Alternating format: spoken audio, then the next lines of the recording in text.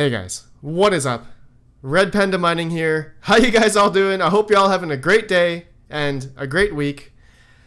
In this video, I would like to talk about Binance and their they have a security incident recap uh, listed on their blog. Uh, I have just saw this tweet that they tweeted out this morning, so I'm gonna I'm gonna read that and just basically uh, go through it and just give my reaction to it. I, I haven't covered much Binance stuff or the hack or anything. I haven't I actually haven't really kept up with like uh, the Binance stuff except for all I know is that they had seven thousand uh, Bitcoin stolen, which hacked or conspiracy. I don't know. Who knows? It's nothing new to me. I've I've heard I've heard these Bitcoin hacks all everywhere on on exchanges and whatnot. So in past history, so it, it didn't really faze me at all. But uh, I'm gonna go read through this. But first, before I read that. Bitcoin is past the mental $8,000 USD at $8,243.99, guys. Look at this, up 13%. We're back in the green, guys. Look at this. It's it's going higher and higher. We're making uh, higher highs and uh, higher lows. Is that how you say it? and for my Canadian friends, let's see here. The Canadian price of Bitcoin is over the mental uh, price of 11,000 Canadian. So, congrats to all of my Canadian viewers. I think it's about 13 to 15% of you are Canadian. So, thanks to you guys. congrats to you. Look at this 11,000. So, yeah, that's all I just wanted to show about the price because you guys like seeing the price of Bitcoin. So, let's keep it going here. Binance blog. This is the. Um, the blog on Binance of their news and updates from the world's leading cryptocurrency exchange, which was also able to get hacked. But yeah, oh well. Okay, so security incident recap. In this article, I will share a recap of what occurred in the past two weeks, including lessons learned and stress dealt with, and wisdom gained. So this is by CZ. It's, he says security incident update. So I'm just gonna read it all through here, guys. What happened? A group of hackers was able to gain control of a number of user accounts and made some large withdrawal requests in such a way that they bypassed our pre withdrawal risk management checks.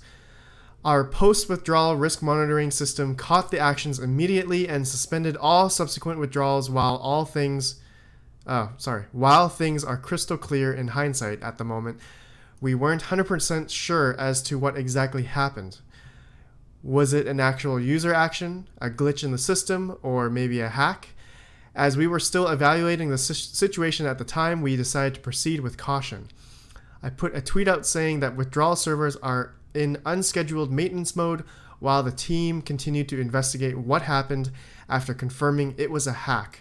More questions followed. So, what confirmed it was a hack, guys? well, let's see here. How much did the hackers withdraw? So they said around 7,000 to 8 between their between 8 7,000 and 8,000.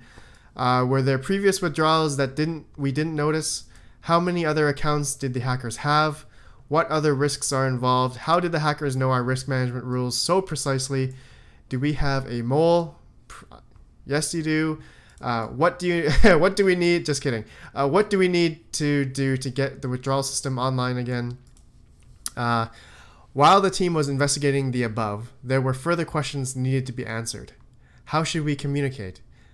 What would the community reaction be? How much reputational damage would we suffer? Obviously, I feel like not that much. I think Binance is still doing pretty well. So, uh, in tough moments, we always choose to rely on our ethos users first and be transparent, which um, CZ has. And Actually, I saw a video of uh, I, I, think it was one of those lie uh, those people that can read uh, reads people's reactions to see if they're lying or not. And someone did a reaction, a live reaction of uh, of CZ when he did he, the live AMA on Twitter, and apparently he was he was totally um, like distraught and stressed, and everything what he was saying was true. So um, I, I think yeah, he had nothing. Apparently, he had nothing. It, it, it, it seems like he has nothing to do with this hack or anything. So uh, it was an actual um, actual real situation and stuff. So uh, maybe I'll find that video later. Okay, so the next part in this blog is communication. After the initial incident, we decided to put out a notification across all of our channels regarding the security incident. By then, we were relatively certain that there was only a single affected transaction. All of our other wallets were safe. We were cautious that the hackers may still have control to additional accounts that we were not fully aware of. Further withdrawals still posed a risk, and we ne- needed to make a few significant changes to the system before we could re enable withdrawals for our users. This security incident notification stated an estimation of one week of suspension on withdrawals. In our techno- technology world, you can never accurately estimate how long changes might take. It is quite different when you compare it to a repeated predictable work, but our users and community needed an estimate, and once communicated, it became a target deadline for our team to deliver. I did not know how the community would react to a one week of withdrawal suspension, but luckily, being transparent paid off and we received tremendous support from our amazing community. Which uh, the overall the overall outlook and feel, in my opinion, was definitely um, definitely supportive of Binance. So, uh, pr- props to them, props to Binance. Uh, they took everything, they all took all the precautions, and uh, they were really transparent and uh, they, they just gave all the answers right then and there. So really, really good. Congrats to CZ. So uh, lesson during the crisis: constant transparency, transparent communication is key.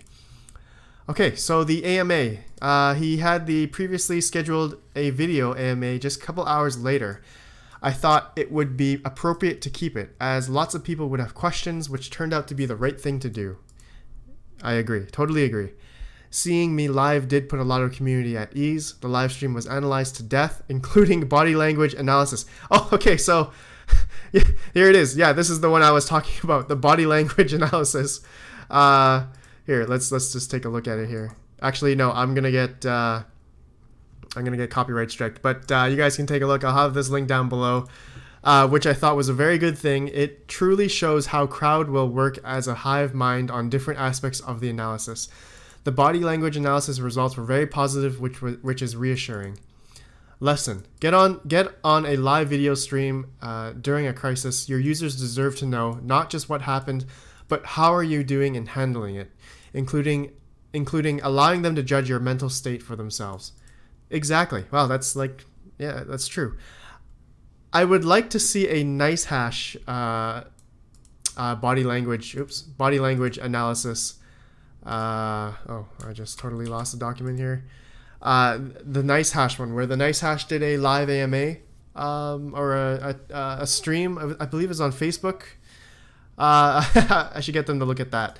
Anyways, um, uh, just next thing, uh, distractions. Before the AMA, I had I had been up all night and I was really I was really feeling the effects. So, I took a 15 minute nap just before the AMA. Upon waking up, my team told me there was an interesting proposal from a Bitcoin Core developer. I read it. I read it for a few seconds. It involves something called a reorg. While I know it's technically possible for rollback in a 51% attack scenario, it never occurred to me that it is also technically possible to change one transaction and keep all other transactions intact. While hugely incentivizing the miners, the discussion was already pretty hot on Twitter, so I mentioned it in the AMA and as something that was suggested.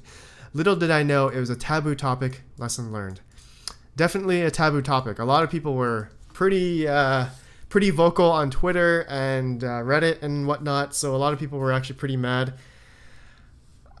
I, yeah, I don't have much opinions about that because I don't really, I, I didn't even know that was possible myself. So uh, either really cool or really bad idea. I don't know which way to look at it. So uh, mental state, I am not going to deny it. My first re- reaction was F. The second and third reactions were also the same. A few moments after that, I, be- I began to come with terms with it. Well, that sucks. What should we do now? Lots of people were waiting for me. Some of some of some for instructions, some for information, and some for reassurance. Lots to do. Let's get on with it.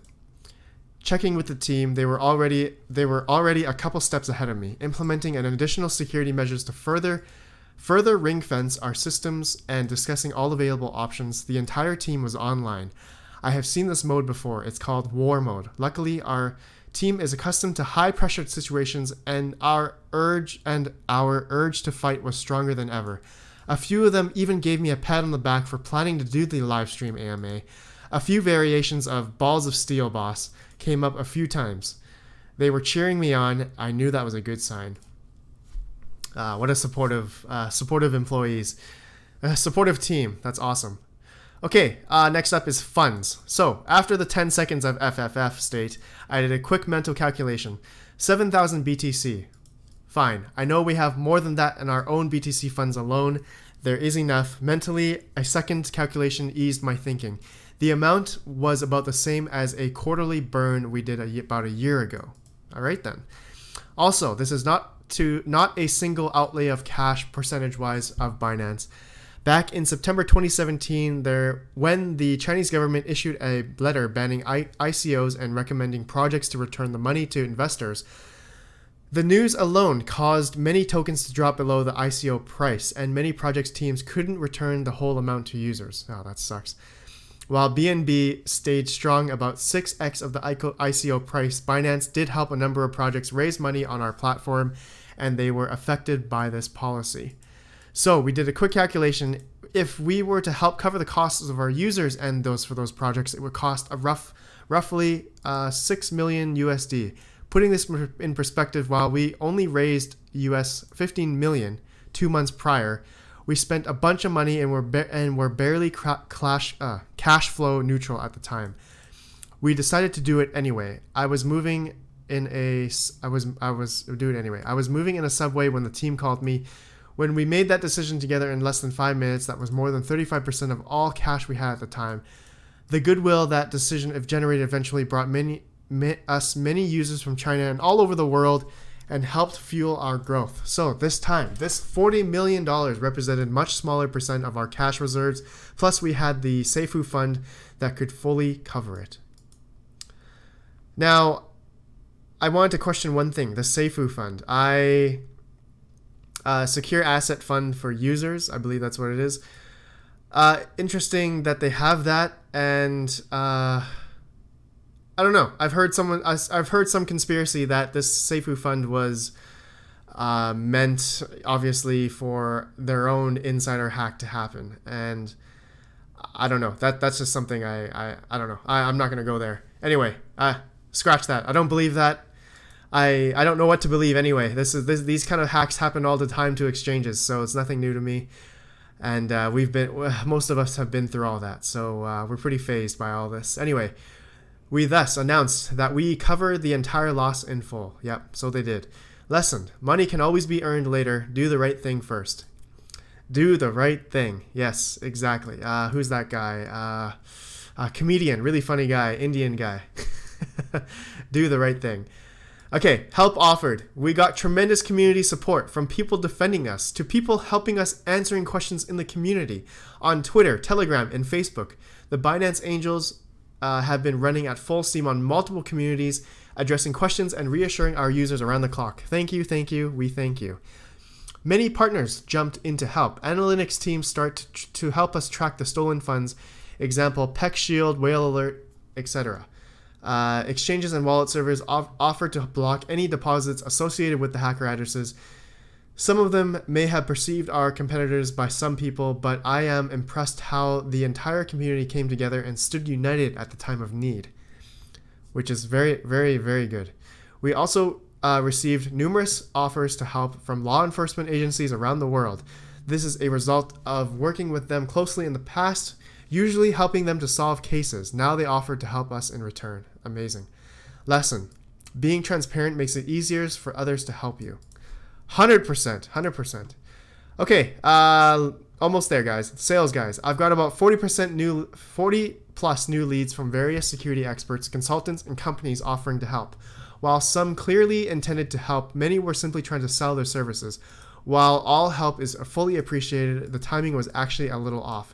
It would not be good for me to schedule 40 calls during the week, and when our system is partially down, some even flat out suggested that we give them full access to our servers so that they can help us do forensics. We politely declined moving on. Wow. Some even flat out suggested that we give them full access to our servers. Yeah, I wouldn't even I wouldn't even depending on the type of company and how credible they are, I don't know. That's kind of sketchy in my in my books. Uh, one quarter in a week. Uh, our team pushed on day and night in places where we can con- congregate in small uh, temp offices. We had an uh, IKEA temp beds rolled out. I won't go into details here as we don't dis- disclose our security practices. But to bring back the system online in one week, all of our teams did more than a quarter's work of work in one week. Wow. Okay. That's pretty good. Props to the teams at Binance. That's awesome. Uh, a blessing in disguise. Speaking with various team members, as correctly analyzed by the community members such as uh, Guantum Chungani, not sure who that is. Uh, this incident may actually be good for us in the long run. Security is never an ending, ending, ending practice. Practice. There are always more things to do in security, and we have implemented many of them in this last week, and will continue to implement more in the future. Given this incident, Binance has actually become far more secure than before, not just in the affected areas, but as a whole. Okay, great, that's good. Lessons learned. We always maintain constant and transparent communi- communication with our community during the crisis. We believe this is a, to be a strong factor that contributed to the support we got from the community in return. One clear measure uh, is the BNB price. It dropped a bit on the initial news, but not nearly as much as one would have expected. And even before we resumed withdrawals, it has already already made a strong comeback and all and hit all times high all time highs in USD again. We hope this will be a new benchmark for how people project teams uh, should communicate with their users during both the good times and the tough. We and we hope this will help our industry healthier and stronger. And we th- thank you. So that was from CZ of Binance. Um, great guys. This this was a really good uh, recap uh, from Binance. I, I really haven't been keeping up myself, so props to them. I congratulate them, and really, transparency is the key in terms of uh, what happens in terms of a like a hack and whatnot. So. Uh, I think Binance had have been doing it right. They have been doing it right, and um, yeah, good times ahead for Binance. They in terms of and now in terms of the Bitcoin price, guys, like it's it, it hasn't been fazed by this hack. So uh, it's been going up as of as of late. So uh, pretty props props to that hack, I guess. I don't know. Uh, I'm pretty curious of where the 7,000 Bitcoin has gone to. So uh, maybe I'll do another video just finding out where that could go, uh, where they have been going. So maybe I'll do some research on that. But anyways, guys, let me know what you think down below. And thanks for watching me day in and day out. I, I appreciate everyone. And uh, I'll see you guys in the next video. Don't forget to smash that like button and whatnot. And I'll see you guys in the next one. Peace out.